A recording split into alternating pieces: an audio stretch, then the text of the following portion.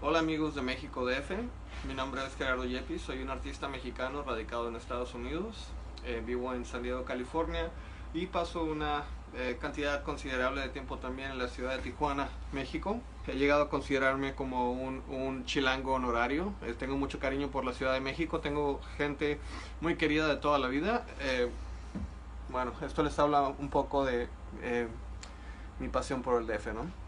Eh, también viví en la ciudad de Nueva York por casi un año eh, y el, trabajo eh, que he venido realizando viene un poco a generar esta narrativa de los espacios urbanos de las ciudades, de las identidades multiculturales, ¿no? de hablar de transición entre fronteras, pero no solamente tran- transición y fronteras físicas, ¿no? hay, un montón de, parámetros a la hora de hablar eh, puntos de vista o situaciones geográficas. ¿no? Eh, estuve eh, a punto de irme a vivir a Vancouver, todavía lo estoy contemplando, pero cada vez menos. Esta sería una tercera frontera. Eh, eh, bueno, eh, está en veremos.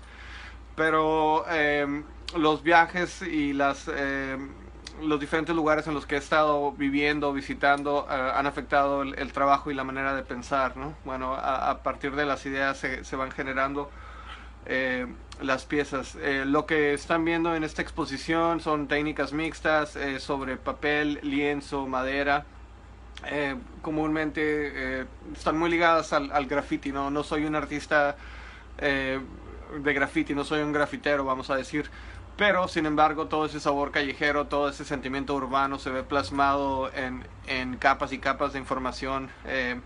Tengo también, eh, digamos, una estructura de diseñador gráfico, lo cual me ayuda a, a pensar, eh, digamos, de una manera práctica. Eh, soy un artista visual, también soy un poco atrabancado, ¿no?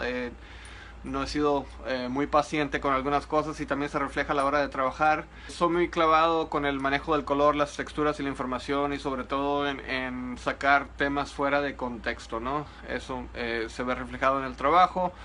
Eh, las piezas exhibidas, eh, bueno, eh, debido a que he tenido múltiples viajes, múltiples viajes y exposiciones en la Ciudad de México, algunas piezas son del 2006, eh, 2013, 2014, 2015 y 2016, ¿no? Quizás no les han tocado ver las piezas de un jalón o quizás las han visto en las redes sociales, etcétera. Gracias por asistir a la exposición. eh, me da mucho gusto su interés. Eh, gracias a la Fundación eh, Pato Pascual, gracias a su galería.